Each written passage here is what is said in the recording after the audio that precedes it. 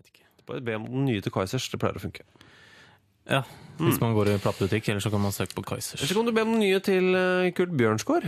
Ja, for det, vi spilte FK Tønsberg-låt forrige gang, eh, og da eh, var det ikke helt klart hvem som sto bak den. Og da var det, vi har fått flere mail om det etterpå, blant annet fra Aslak Bjerre Pettersen, Tromsdalen 2 og SS Murata-fan, som skriver Nå har jeg vært i kontakt med noen Tønsberg-folk som har fortalt meg at skaperen av den nye FK Tønsberg-sangen er Kurt Bjørnsgaard, en velkjent trubadur i Tønsberg. Det jeg også fikk vite, er at han har laget denne fantastiske sangen om Cristiano Ronaldo. Hva tror dere Cristiano Ronaldo selv syns om sangen?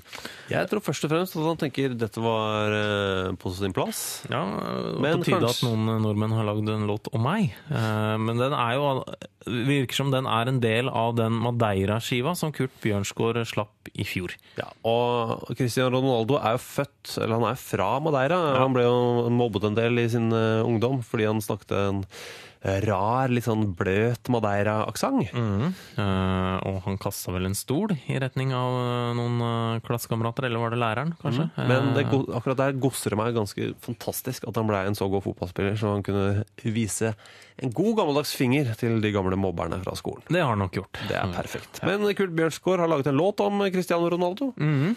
Eh, og den er på engelsk. Eh, han, hele Madeira-skiva er jo på engelsk, så at han kan, skulle kunne selge noen der òg. Ja, vi Kurt Bjørnsgaard har vært plateartist i ganske mange år, Ja. Mm. rett og slett. ja, han har det. Uh, Blant annet en låt som heter Jamaica, eller sånt. Ja, som jo er litt sånn reggae- reggae-inspirert. Ja. Eh, Så det går mye i, i sydlige rytmer når Kurt Bjørnsgaard lager musikk. Ja. Jeg skulle bare høre den, eller? Ja, la oss gjøre det. Ja, Vi kommer nok ikke til å, kommer nok ikke til å spille hele. Nei, dessverre. Men uh, mye nok til at du kan få et inntrykk. Ja, det er, vi spiller Fordi vi vil ikke at egoet til Cristiano Ronaldo skal bli for stort. Det er derfor. Ja. Utelukkende derfor. Som years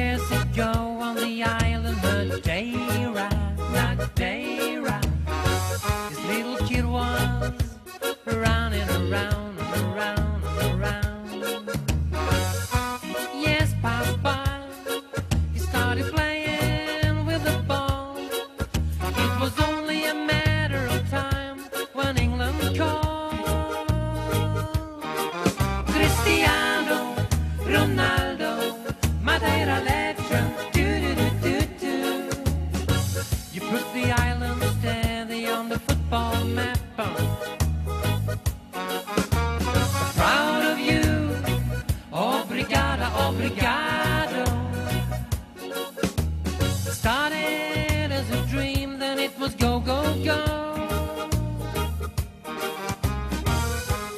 Do do do do do. Do do do do do do. Do do do do do. Suddenly, a very screen showed his face. Madeira.